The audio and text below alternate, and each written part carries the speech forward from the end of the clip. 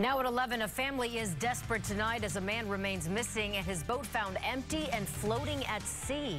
Good evening and thanks for joining us. I'm Wendy Ryan. And I'm Jamison Uhler. Time is quickly running out as the Coast Guard plans to pick up their search in the morning. Our Chris Trankman joins us live tonight in Bradenton with an update. Chris?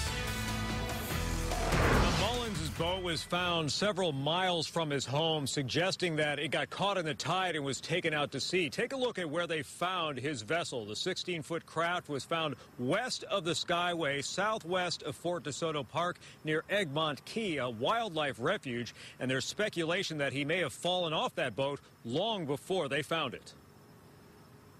Me and my grandfather, we uh, jumped in the airboat and try to help out as much as we could. Nicholas Routh says when word got out that his neighbor, Patrick Mullins, had disappeared, he spent more than six hours searching the narrow and shallow waterways where Mullins was known to take his boat. It's hard to find the guy, especially within the dark waters we have and everything here, so. The 16-foot Stumpknocker was found far from the shallow inlets in the open water near Egmont Key at the mouth of Tampa Bay. The engine still worked, an emergency whistle was untouched, and his hat was still in the boat.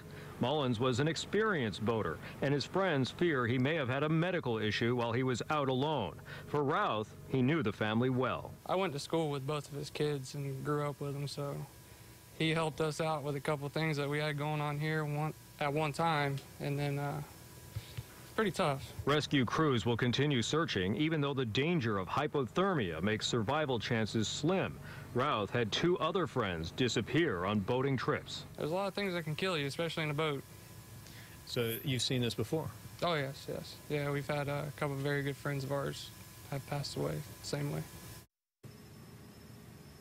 Now, Mullins was out on the water, and his family told me tonight that if anybody happened to be out on the water as well, to help them out, call the Manatee County Sheriff's Office. We're live in Bradenton. Chris Trankman, ABC Action News.